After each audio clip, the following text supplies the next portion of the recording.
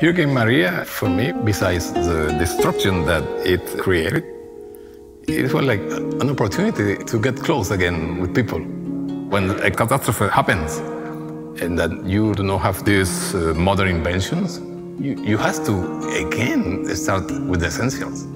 And you tend to get closer to the other. So I think that's beautiful. And that's inspired me a lot. My intention of selecting this uh, materials it was because it was related with the catastrophe first. Then I saw the relationship between Puerto Rico and the States, and I found it very interesting.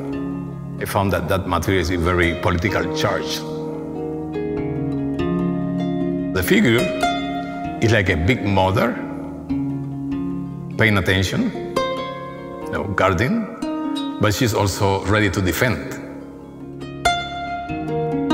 In my work, I use materials like coconuts, or I would say materials related with the palm tree.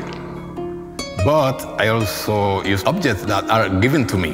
The grater, grater, which is the central tool, was given to me by my neighbor.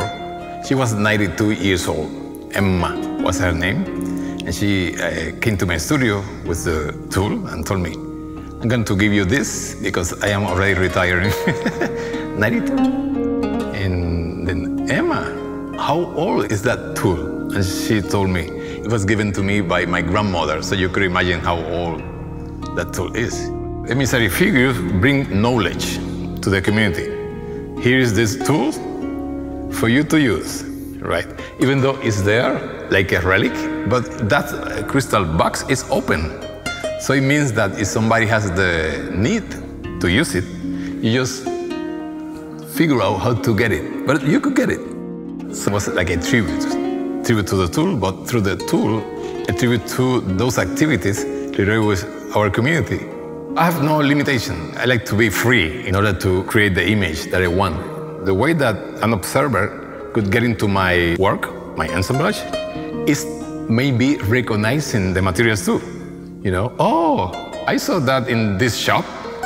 And then they start like, but what is doing there? The context is different. You know what I mean?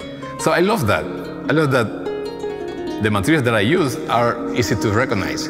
That's the reason why many times I leave them like that because I know that people will recognize that and will start wondering and will start also imagining, remembering, and creating meaning. My experience as a human being is Puerto Rico and my community, so I talk from there. But through uh, the assemblage, I want to share that with others. And art is a very important and strong instrument to do that. That's why I choose this profession, you know. It's a way of sharing. And then there we could see each other like humans, you know.